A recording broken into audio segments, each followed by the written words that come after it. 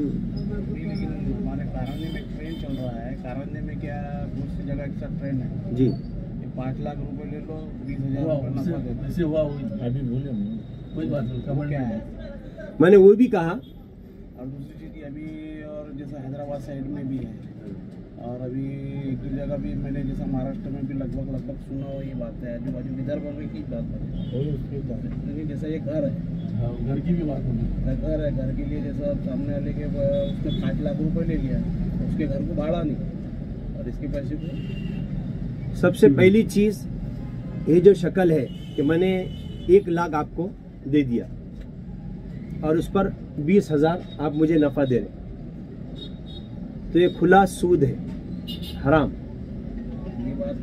इसमें एक शक्ल है जिसको बे शिराकत कहते हैं बे मुजारिबत।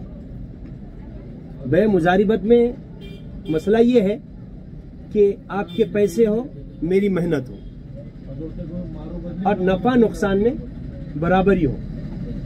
आका मोहम्मद अरबी वसल्लम जैसे मैंने आपसे अभी कहा, अशफाक भाई कुंजानी आने से पहले, मैंने ये कहा कि अल्लाह के नबी वसल्लम ने खुद बे मुजारिबत की।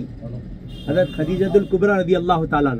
जब हज़रत खदीजतुल कुबरा रदी अल्लाह ताला मालदार, मक्के की सबसे मालदार तरीन औरत। तो अल्लाह के नबी वसल्लम को उन्होंने देखा, भरोसा कर कर अपना पूरा माल दिया। अल्लाह के नबी ने मुल्क शाम में उसकी तिजारत की और उसने उसमें से हिस्सा दिया। तो ये शक्ल जायज़ है।